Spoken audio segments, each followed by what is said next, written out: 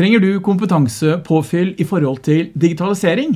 Da kan kanskje noen av nettstudiene på Høgskolen i Østfold være noe for deg. Vi skal i gang med et helt nytt nettstudium i digitalisering og skoleledelse. Og det starter høsten 2023.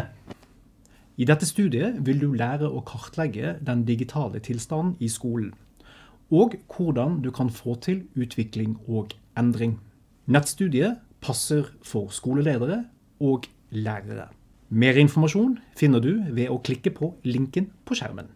Sammen med våre kollegaer tilhører vi en av landets fremste miljøer innenfor nettbasert undervisning.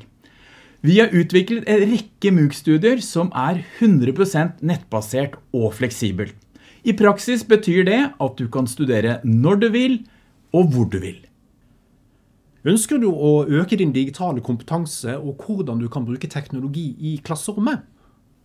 Da kan studietilbudet IKT for lærere være et alternativ for deg. Det er delt inn i to evner, innføring i IKT og pedagogisk bruk av IKT. Ønsker du å lære mer om hvordan du skal undervise på nett, eller øke din profesjonsfaglige digitale kompetanse som lærer?